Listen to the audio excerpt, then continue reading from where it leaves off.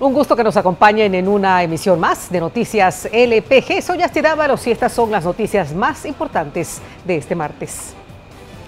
El presidente Sánchez Serén mantiene números rojos según la última encuesta realizada por LPG Datos. El 52% de los salvadoreños desaprueba el trabajo realizado por el mandatario como presidente.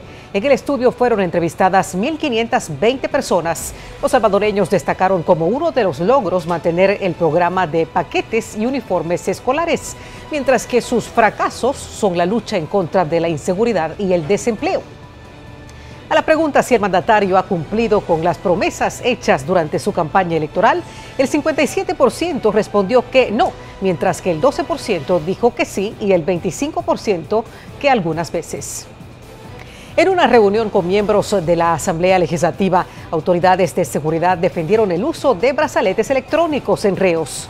Los representantes de Seguridad Pública y diputados discutieron sobre la posibilidad de que pandilleros accedan al beneficio y el uso del sistema como medida siguiente a la detención provisional.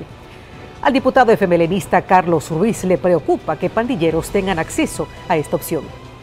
Mientras que el diputado Antonio Almendaris aconsejó que se reformara la ley para que miembros de pandillas no puedan acceder al beneficio de la colocación de brazaletes electrónicos. El juzgado cuarto de instrucción reprogramó para el 28 de marzo la audiencia preliminar contra José Adán Salazar, conocido como Chepe Diablo, y el exalcalde de Metapán, Juan Umaña Samayoa, acusados de lavado de dinero y activos. La reprogramación de la audiencia se debe a que la Fiscalía General de la República solicitó más tiempo para ordenar e incorporar los peritajes financieros y patrimoniales. Salazar es acusado de liderar junto a Wilfredo Guerra y el exalcalde de Metapán, Juan Samayoa, una red que lavó al menos 215 millones de dólares en empresas vinculadas a granos básicos. Juan Guaidó, reconocido como presidente interino de Venezuela, anunció este martes un paro escalonado en la administración pública como otra medida de presión contra el gobierno de Nicolás Maduro.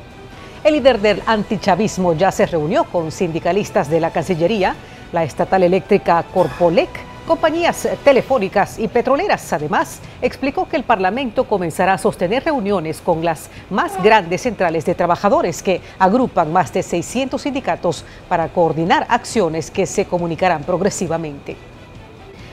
Muchas gracias por habernos acompañado en esta emisión de Noticias LPG. Los espero como siempre mañana con más noticias.